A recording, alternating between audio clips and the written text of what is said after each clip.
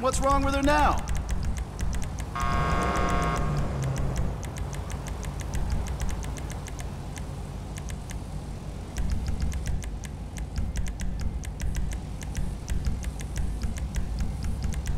This'll give me some more zip.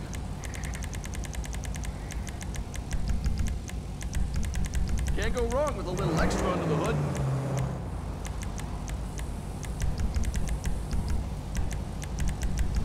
Shoot these out.